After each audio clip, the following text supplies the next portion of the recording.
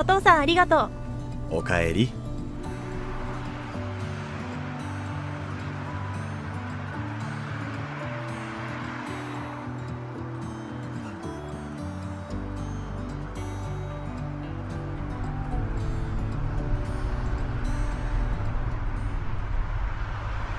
お父さん危ない。いきなり飛び出してきて危ないじゃないか。え？飛び出したんじゃなくて今こっちが赤信号だったよ。ごめんなさい。え今赤信号だったのか？気づかなかったの？ああ気づかなかった。何が起きたんだろう？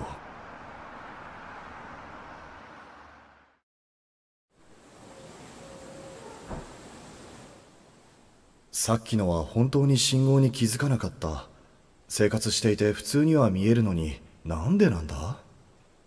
あれから地下にはもうお父さんが運転する車には乗らないと言われてしまった。どうしたの？冴えない顔して。いやさっき地下を迎えに行った帰りに赤信号に気づかなかったようで人にぶつかりそうになって間一髪だった。気づかなかったってそういえばこの前一緒に買い物に行った時も歩いていたら人とぶつかりそうになったわよね。そういえばあの時も。チカが英会話始めたいらしいのよ。英会話か。これからの時代には必須だしいいんじゃないか？おおびっくりしたもしかしたらちゃんと見えてないんじゃない？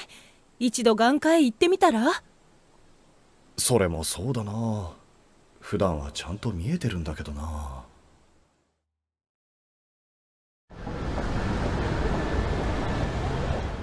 こんにちは。本日はどうされましたか？はい。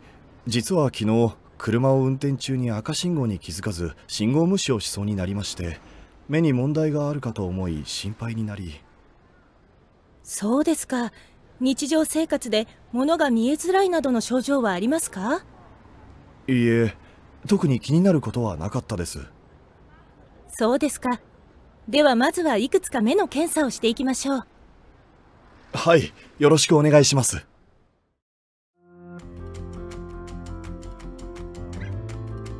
まずは視力検査をしますね。次は眼圧検査をしますね眼球を押して押し返す力を測ります。痛みはありません。それでは視野検査をしますね。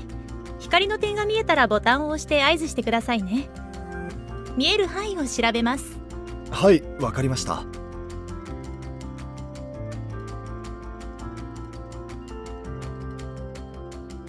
次に眼底写真を撮影しますね瞳から光を通して目の奥の視神経乳頭の状態を調べます。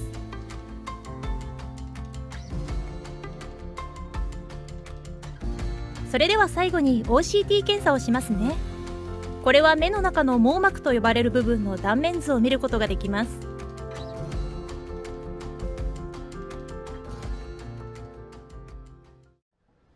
検査お疲れ様でした。検査結果を総合的に見させていただいたところ視力に問題はありませんでしたが加瀬さんは緑内障という病気です。え緑内障？それはどのような病気なんですか？緑内障は何らかの原因で視神経が障害され視野が欠ける病気です。視野障害が起きる病気ですが自覚症状が少ないので未治療のまま運転などをする方が多く交通事故の原因疾患の一つとされているんですよ。えもし緑内障と診断されてしまったら運転できなくなるんですか？いえ必ずしも今すぐに運転ができなくなるわけではありません。ではこれから説明しますね。これは眼球を横から見た時の断面図になります。緑内障は眼球の眼圧の上昇がその原因の一つと言われています。眼圧が上昇することにより視神経が圧迫されてしまうのです。緑内障は日本人における視覚障害の原因で最も多い病気でありおよそ470万人がこの病気にかかっていると言われています。ところが緑内障は自覚症状が少ないため9割の方は無自覚未治療とされています。さらに緑内障という病気はかなり重症になると交通事故の原因となります。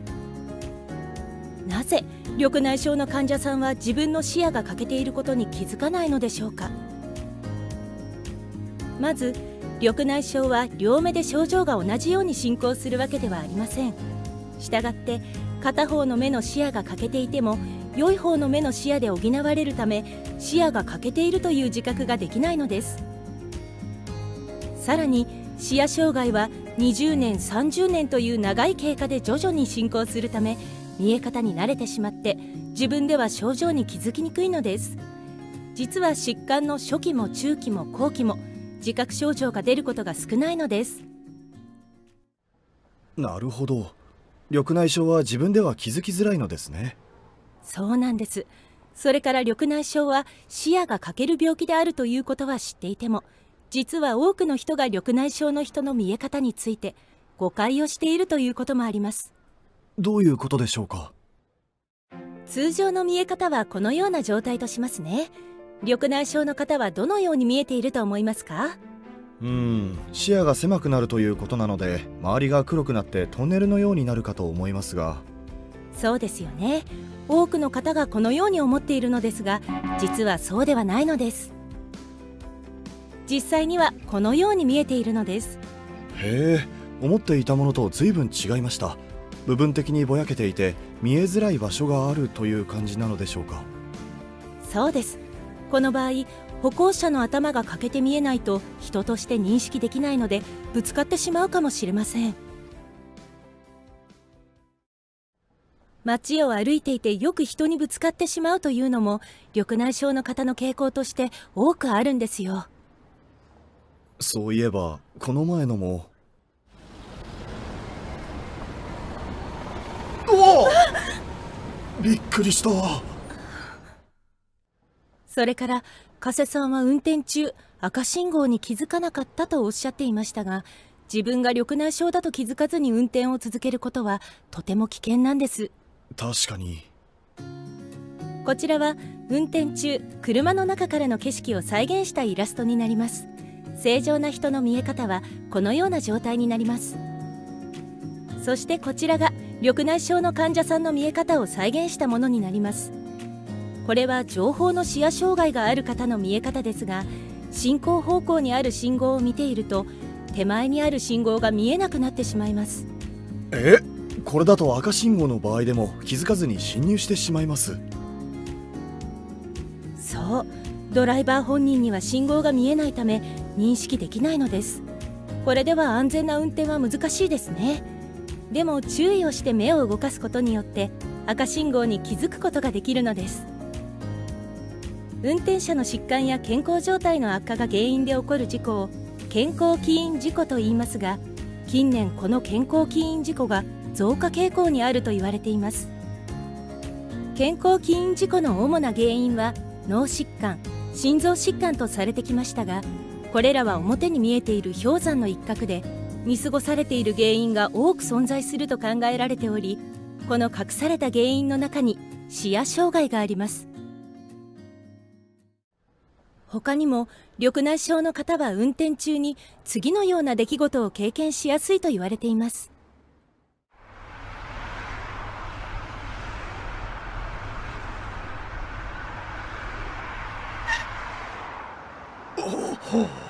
突然車や歩行者などが飛び出してきたことがある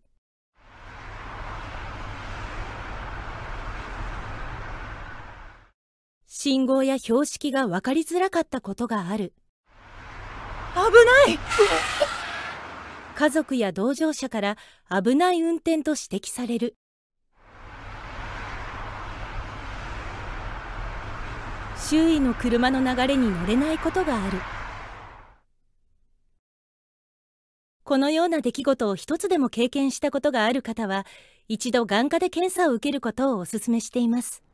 なるほど昨日運転中に赤信号に気づかなかったのがこれでした。このような状態だったらもう運転してはいけないのでしょうか。通勤時に車も使えますし乗れなくなると困るのですが。そうですね。まず緑内障と診断されたからといって必ずしも運転ができなくなるわけではありません。ご自身の見え方を理解して注意をして運転をすれば大丈夫なことがほとんどです。緑内障の中でも全ての患者さんが同じように視野が欠けるわけではなく主に上の方の視野が欠ける情報視野障害下の方の視野が欠ける下方視野障害などさまざまな症状の現れ方があります。つまり視野障害のパターンによって運転中に信号や標識対向車歩行者などが見えづらくなる部分は人それぞれ違ってきます。自分の見えない部分があることを認識せずに運転を続けると交通事故につながる可能性があります。しかし自分の視野障害の特徴を理解して注意をして走行することにより交通事故を未然に防ぐことができます。具体的には視野障害のパターンによって気をつけるポイントが変わってきます。まずは大部分が見えない場合や下の方の視野が欠けていて欠けている部分が中心にかかる場合も運転は危険です。下の方の視野が欠けていても欠けている部分が中心にかからない場合は左右からの飛び出しへの反応が遅れる恐れがありますので注意しましょう。上の方の視野が欠けていて欠けている部分が中心にかかる場合は標識信号を見落とす恐れがあるので知らない道にはなるべく行かない方がいいですね。上の方の視野が欠けていても欠けている部分が中心にかからない場合は知らない間に標識信号を見落とす恐れがあります。これらはいずれも運転の条件が良い時の場合なので夕方以降や雨天時の運転を控えるように注意することも必要になってきます。加瀬さんは情報の視野障害が認められたので気づかない間に信号や標識を見落としているかもしれません。ですから視野の上にある信号機や標識を見落とさないようによく目を動かすことが大切です。なるほど。緑内障といってもいろいろな視野障害のパターンがあり運転中にどのようなことに気をつけた方がいいのかが違うのですね。ところで緑内障はどのように治療するのでしょうか？まず患者さんのほとんどは視野障害の進行を抑えることを目的に眼圧を下げる効果のある点眼薬の投与から治療を始めます。眼圧が十分に下がらない場合や視野障害が進行する場合はレーザー治療や手術が行われます。一度障害を受けた視神経は元に戻すことはできないので早期発見が大切なんです。早めに発見し点眼薬治療などを始めることで症状の進行を遅らせることができ日常生活への影響を少なくすることができます。自身の症状を理解して運転時に注意して走行し治療もきちんと継続することでほとんどの場合車の運転も続けることができます。そうなんですか。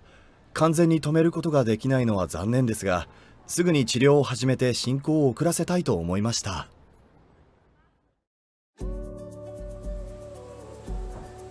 それから私は家族に緑内障のことを説明し治療を始めた。そして症状を知り自分の弱点を自覚することによって信号を見落とさないように注意している。それ以外にも左右の飛び出しにも気をつけより一層注意をしている。おかげで交通事故も起こしていない。それを理解してくれた娘がまた車に乗せてほしいと言ってくれた時はとても嬉しかった。大切な家族を守るためにも治療を継続していきたいと思う。視野障害をきたす代表的な疾患である緑内障は推定患者数が470万人と言われていますが9割は無自覚未治療であり自覚症状がとても乏しい病気です。緑内障により失ってしまった視野は元に戻すことができませんが早期発見早期治療そして治療の継続をすることで進行を遅らせることができます。視野障害により安全運転に必要な情報が得られず自動車事故が起きる可能性があります。健康で明るくより良い未来のために40歳以上のドライバーは眼科受診を60歳以上のドライバーは定期的な目の検査を受けるようにしましょう。緑内障と診断された場合は自覚症状がなくても治療を継続しましょう。